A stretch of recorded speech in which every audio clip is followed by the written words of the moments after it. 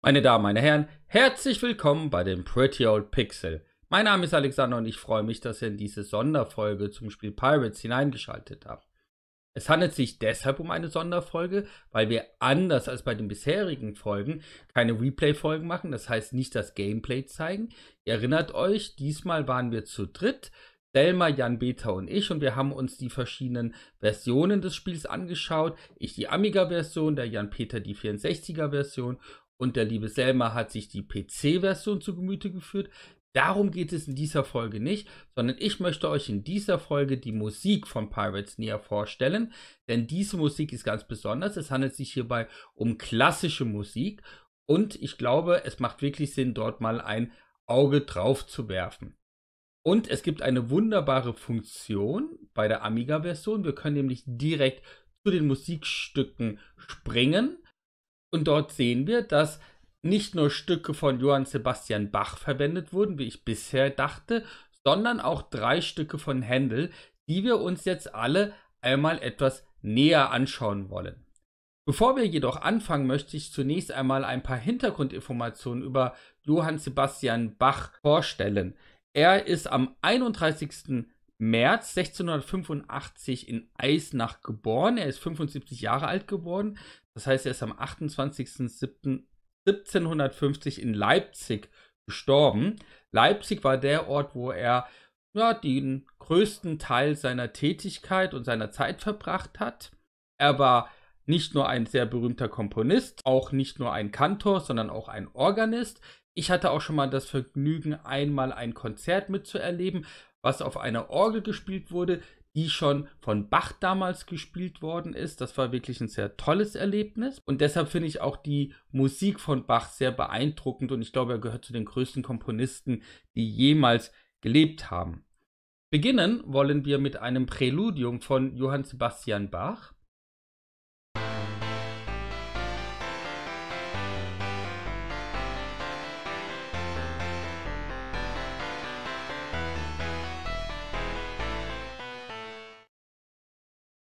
Es handelt sich hierbei um das Präludium zu den vier Präludien, das ist die Pluralform. Bei einem Präludium handelt es sich um ein Instrumentalwerk, welches einführenden oder hinführenden Charakter hat. Und davon hat er so einige geschrieben. Das nächste, was wir uns anhören, ist aber etwas anderes.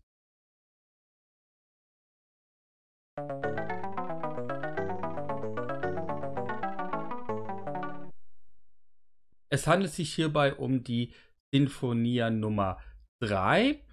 Bei den Symphonien handelt es sich genauso wie bei den Inventionen nicht nur um gelegentlich gespielte Stücke, sondern es handelt sich hierbei um Übungswerke für Spieler mit modellhaften Anweisungen zum Komponieren. Das heißt, es sind eher Stücke, die für die Ausbildung gedacht sind. Und zwar gibt es insgesamt 15 verschiedene Symphonier, wie es genauso 15 verschiedene Interventionen gibt. Die Interventionen hat er meines Wissens in Köthen geschrieben. Die Symphonien hat er zu Ende geschrieben, als er bereits in Leipzig angefangen hat, tätig zu werden.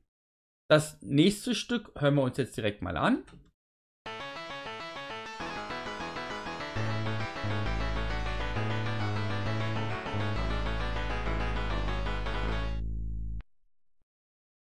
Dabei handelt es sich um die Invention Nummer 10.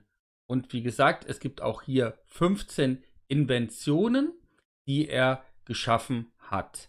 Und wenn wir uns jetzt mal hier auf den Bildschirm mal das näher anschauen, da steht nicht nur der Titel, sondern auch für welche Musiker das gedacht ist. Ja, und beim Crumphorn gibt es da noch eine witzige Anmerkung oder Bemerkung von Microprose. Und zwar schreiben sie hier, dass der Crumpon-Spieler sehr viel von der Titelmusik von Red Storm Rising gehört hat und dass man jetzt hier raushören kann. Naja, das ist ein bisschen weit hergeholt.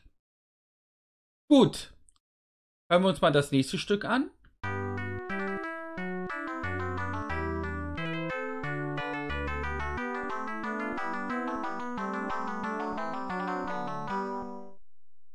Ist das nicht schön? Es handelt sich hierbei um die Variation 2 der Goldberg-Variationen. Und auch hier handelt es sich um Übungsstücke für angehende Musiker.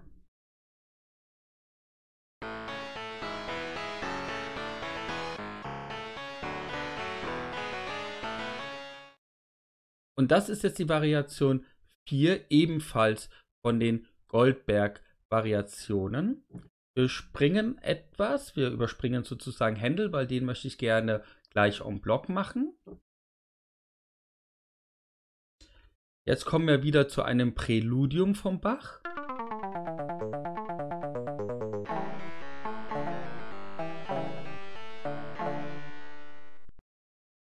Und hierbei handelt es sich um das Präludium Nummer 5 von den zwölf kleinen Präludien. Und das letzte Stück ist auch wieder ein Präludium.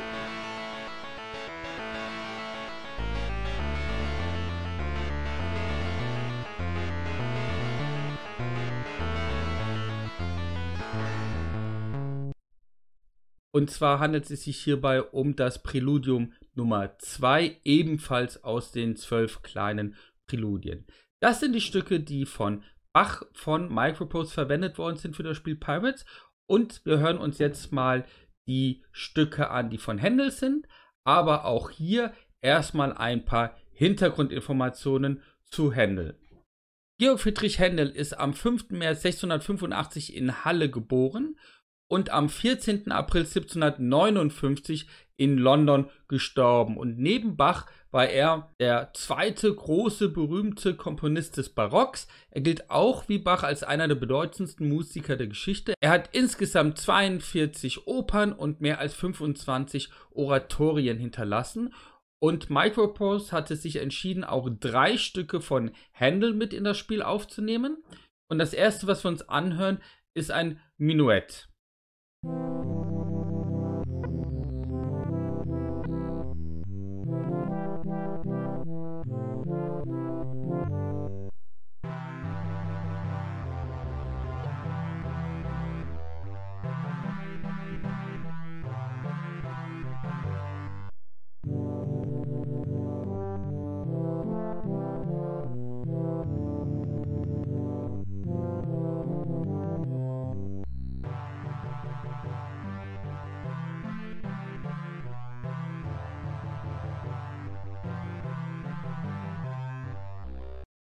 Das war das Minuett aus der Wassermusik von Händel. Bei einem Minuett handelt es sich um einen alten höfischen Gesellschaftstanz französischen Ursprungs und zählt zu den wichtigsten Tänzen in der Barockzeit. Bei der Wassermusik handelt es sich um eine Sammlung von insgesamt 22 Werken, die eine Lustfahrt des englischen König George I. am 17. Juli 1717 auf der Themse untermalte. Und wie ihr bisher auch gehört habt, ist es das längste Stück bisher im Spiel. Hören wir uns mal das nächste Stück mal an.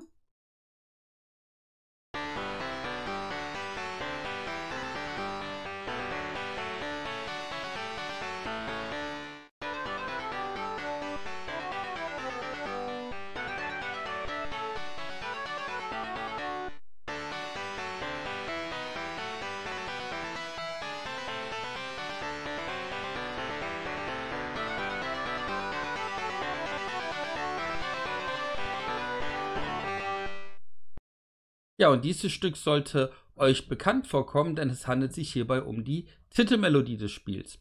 Und zwar handelt es sich hierbei um einen Büré, einen barocken Hoftanz, den auch hier Microprose für das Spiel verwandt hat. Und auch beim letzten Stück, was ich euch vorspielen möchte, handelt es sich ebenfalls um ein Hoftanz.